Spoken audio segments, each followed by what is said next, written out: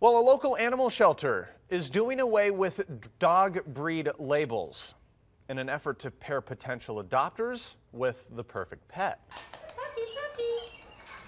Hi, puppy. Okay, so the Humane Society of Truckee Tahoe wants their dog descriptions to read less like a list of stats and more like a friendly dating site. They say most dogs in shelters are mixed breeds anyway, and they hope the new system will help people choose based on personality rather than appearance. All right, coming up on Channel 2 News at 7 o'clock, Elizabeth Olveda will take a look at how this policy change is helping pets find a home.